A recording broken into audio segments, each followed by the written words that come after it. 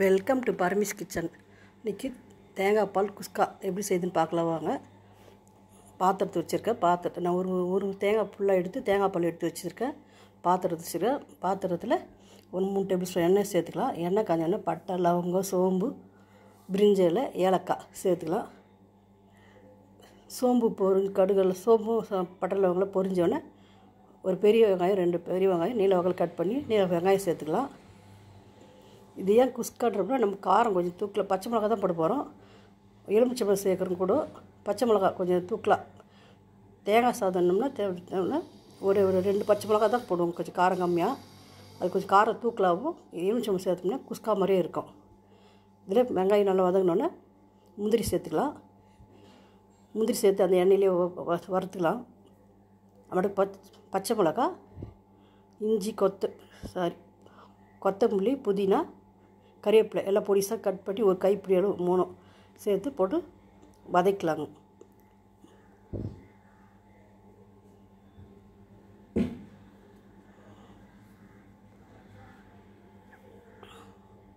பச்சை மிளகா வந்து நான் எட்டு ஏழு எட்டு பச்சை மிளகா போட்டிருக்கேன். நீல வகையில் கட் பண்ணி பச்சை மிளகா கொஞ்சம் காரமாக இருக்கணும். அதில் ஏழு பச்சை மிளகா போட்டிருக்கேன். இஞ்சி பூண்டு பேஸ்ட்டு ரெண்டு டேபிள் ஸ்பூன் இஞ்சி பூண்டு பேஸ்ட் போட்டிருக்கேன். எல்லாம் சேர்த்து நல்லா பச்சை வாசனை போக வதக்கலாங்க.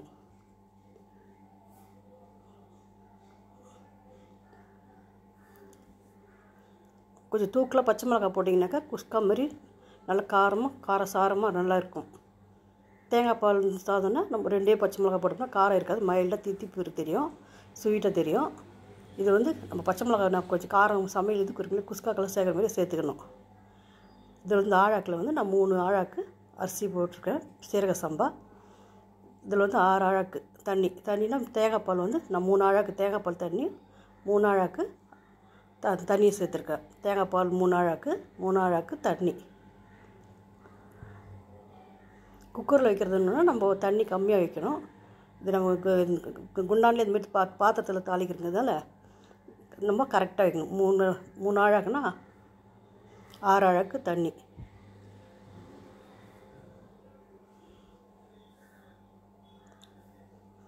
தேங்காய் பால் சேர்த்துட்டு நல்லா கு- தே தேவையான அளவு உப்பு சேர்த்துக்கலாங்க. இது வந்து உப்பு நிறைய பிடிக்காது. கொஞ்சம் தூக்கலாக இருக்கும். உப்பு ரொம்ப காரம் மாதிரி இருந்தாலும் உப்பு உப்பு கொஞ்சம் கம்மியாக தான் பண்ணணும் இப்போ இதுதான் இப்போ அரை எலுமிச்சம்பழம். நம்ம எவ்வளோ அரிசி நம்ம சேர்க்குறோமோ அதுக்கேற்ற மாதிரி நான் மூணு ஆழாக்குன்றதில் அரை எலுமிச்சம்பழம் இந்த ஜூஸை பூஞ்சிடலாங்க தேங்காய் பால் சாதம்னா நம்ம எலுமிச்சம்பழம் சேர்க்க மாட்டோம். பச்சை மிளகாய் காரம் ரொம்ப சேர்க்க மாட்டோம். இதில் வந்து எப்படி பிரிஞ்சு பிரியாணிக்கு எப்படி செய்யணுமோ அதே அளவு தான் எல்லாமே செய்யணும். பட்டை லவங்க சோம்பெல்லாம் எல்லாம் சேர்த்துக்கின்னு பச்சை மிளகாய் கொஞ்சம் ஜாஸ்தியாக சேர்த்துக்கின்னு எலுமிச்சம்பழம் இந்த புளிப்புக்கு எலுமிச்சை பழம் சேர்த்துக்கணும். நல்லா கொதிச்சோன்னே அரிசி சேர்த்துக்கலாங்க.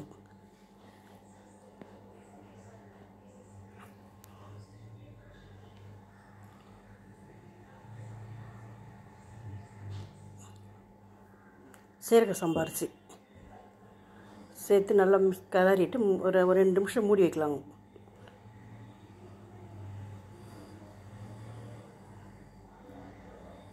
மு- திராட்சை வேணாலும் நீங்கள் சேர்த்துக்க நான் திராட்சை சேர்க்கல. திராட்சை சேர்த்தாலும் நல்லாயிருக்கும் நம்ம முந்திரி வறுக்குறீங்களே அப்பயே திராட்சை சேர்த்துக்கலாம். வேணும்னா. ரெண்டு நிமிஷம் நான் புல் தீ வச்சு ரெண்டு நிமிஷம் கொதிக்கிட்டு நம்ம வச்சுட்டோம் இப்போ அடுத்தது திறந்து நம்ம சிம்மில் வச்சுக்கலாம் இப்போ. இப்போ நல்லா கொதிச்சு தண்ணி அந்த தேங்காய் பால் தண்ணியெல்லாம் இழுத்துச்சில் கொஞ்சம் இருக்குது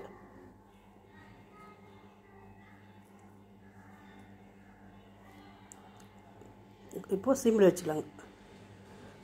நல்லா கிளறிட்டு சிம்மில் வச்சு சிம் ஒரு அஞ்சு நிமிஷம் சிம்லேயே வச்சு நல்லா மூடி வச்சோம்னா சாதம்லாம் நல்லா வந்து உதிரி உதிரியாக வரும். இப்போ நல்லா தண்ணி இந்த சாத்தில் இருக்க தண்ணியெல்லாம் இழுத்துக்கிச்சு. நல்லா ஒரு உது உதிரியாக வருவாங்க. இப்போ நம்ம கொத்தமல்லி போட்டு இறக்க வேண்டியது தான்